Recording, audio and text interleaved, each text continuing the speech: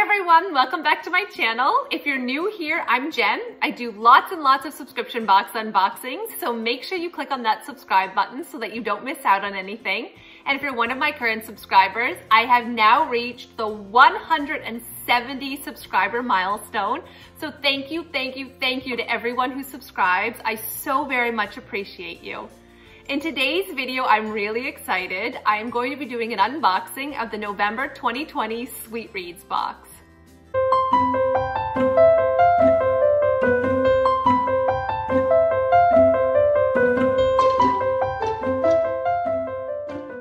The Sweet Reads box is now officially my number one all-time favorite subscription box. I got my first Sweet Reads box last month, so make sure you check out that unboxing video. And they are a monthly Canadian subscription box, and every single month they send you a New York Times best-selling fictional novel, plus some gifts that are kind of centered around the theme of the book, plus a snack, plus a drink. There is so much goodness packed away in this box. I just finished reading the novel that I got in last month's box. It literally only took me about four days because it was so adorable that I became obsessed with it. You know when you become obsessed with books and you're thinking about them even when you're working and all you want to do is read it? That's kind of how I felt about this one. So if you want to go to your local library and sign it out or I even buy it, I think it would be worth it. It was called The Brilliant Life of Eudora Honeysett and it is just adorable.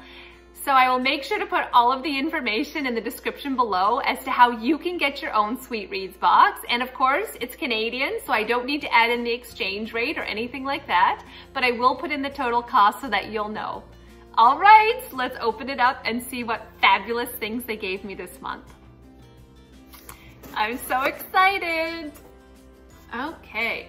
Oh, we've got a little French here. So my French is terrible. If you're French and you're watching this video, feel free to make fun of me. It says, je me souviens. I hope I said that right. I probably butchered it. This is the front. And then on the back, it just tells you everything that's in the box. All right, and this is just a little bit about, um, about the book. And I think it's actually on the back, there's like a little description from the author. I'm excited already. Look at this hat. So this is from Little Blue House Heritage. How Canadian is this? Isn't this awesome? Oh my God, I love that. I'm gonna wear it for the rest of the video. I love this. It fits perfectly. Oh. I would have been happy if I just got this fabulous hat. Oh. It's heavy. Look, it's got a little llama, a little llama or an alpaca. It's covered in bubble wrap. I think it's probably breakable. Let's see. This is so cute. Look at this. It's really heavy. I'm trying so hard not to, to drop the lid. Let's see. Oh my goodness. This is just adorable. It's a little box, a little ceramic box. I love this. I can keep jewelry in it. What do we have next? We have lip balm, sweet almond.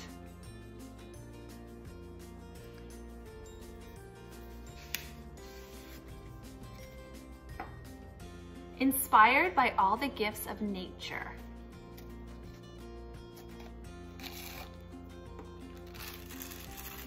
Wow, this is the fanciest packaging for lip balm I've ever experienced.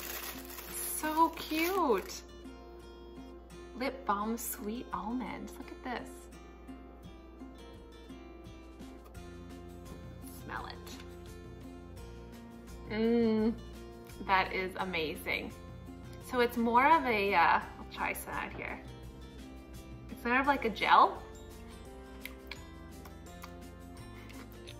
Am I the only person who tastes lip balm? I always want it to taste as good, as good as it smells. It smells amazing. And it glides right on. I like that. What do we have next? Oh, dark chocolate with honeycomb. Are you now realizing why this has become my favorite box? It is like, it's just fabulous. What is this? Canada A?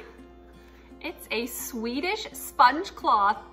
How cute is that? It's re it's reusable, washable, compostable, and one of these equals 40 rolls of paper towel.